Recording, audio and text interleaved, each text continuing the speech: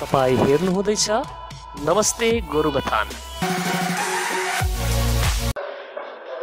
सर्वप्रथम Gorubathan tourism development सोसाइटीको तर्फबाट समस्त प्रेस कर्मी मिडिया बन्धुबान्धवलाई स्वागत। साथै दर्शकहरूलाई पनि स्वागत छ। र आज यो एउटा सानो प्रेस भेला गर्नुको मूल तात्पर्य चाहिँ आगामी नव वर्ष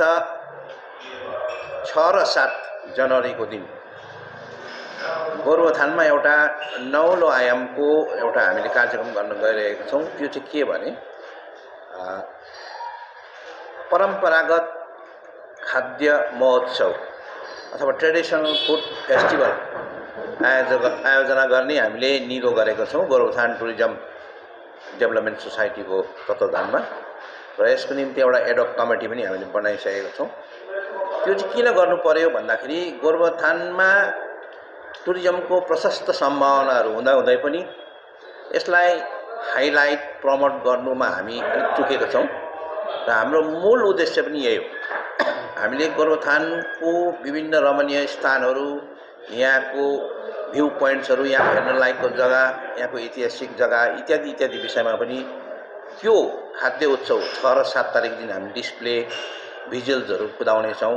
हगि र त्यसले गर्दाखेरि सँगसँगै हाम्रो यहाँको परम्परागत जतिसक्दो खाद्य व्यञ्जनहरूको पनि प्रदर्शनी अथवा सेल सँगसँगै लोकल ह्यान्डिक्राफ्ट्सहरू पनि केही मात्रामा हामीले एउटा प्रदर्शनी अथवा सेल गर्ने यो प्रथमपल्ट यस जग्गामा हामीले एउटा निधो गरेका छौँ।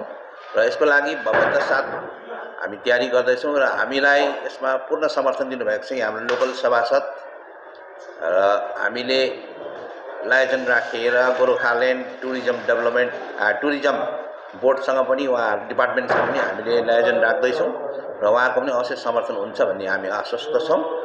र विशेष यो चाहिँ यो सोमबारे बजारकै बाबरी खेल मैदानमा छ र सात तारिकको दिन दुई दिने उत्सव तिन बजीदेखिको आठ बजीसम्म।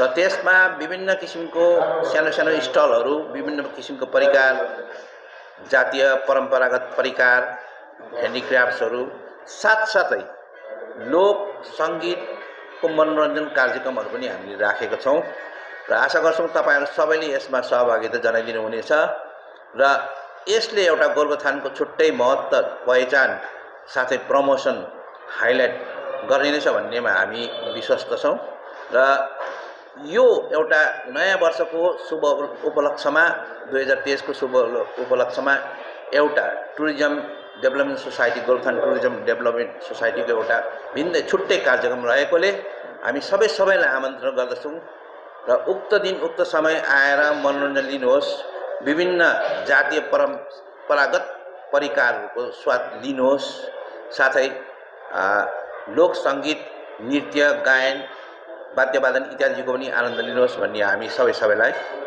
निमन्त्रणा गर्दछौँ।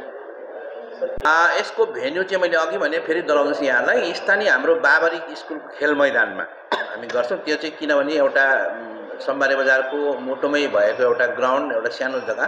र प्रथमपल्ट हामीले अलिकति सानै रूपमा गर्ने चेष्टा गर्दैछौँ अघि। र त्यसले गर्दाखेरि त्यो भेन्यूमा चाहिँ सबैजनाले एक्सेसेबल गाडी घोडामा पनि आउन सक्नुहुन्छ बिच बजारमा। र हाम्रो परिवारहरूको सदस्यहरू पनि आउन सक्नुहुन्छ त्यति टाढो पनि भेन्यू छैन। र यसमा इन्ट्री फिसको कुरा रह्यो। इन्ट्री फिसमा हामीले हाम्रो परम्परागत खाद्य वस्तुहरू डिस्प्ले गर्ने बेच्ने जुन स्टल बनाउनुहुन्छ राख्नुहुन्छ उहाँहरूलाई पनि हामीले सानो सानो एउटा क्यानोपी जस्तो प्रदान गर्छौँ। र त्यसको लागि सामान्य एउटा फिज र रेजिस्ट्रेसन मात्रै छ। अरू केही फिजहरू लिएको छैनौँ। किनभने यो हाम्रो प्रथम प्रयासमा हामीले यताउति गरेर अलिकति बजेट जुटाउँदैछौँ र हुनसके हामी त्यो पनि बजेट राम्रै सम्भव हुन सके उहाँहरूलाई हामी फिर्ता पनि गर्ने उहाँहरूलाई वचन दिँदछौँ र प्रथम प्रयासमा सबै सबैले यस होस्टेमा हैसे थपिदिनुहुन्छ भन्ने म निवेदन गर्दछु।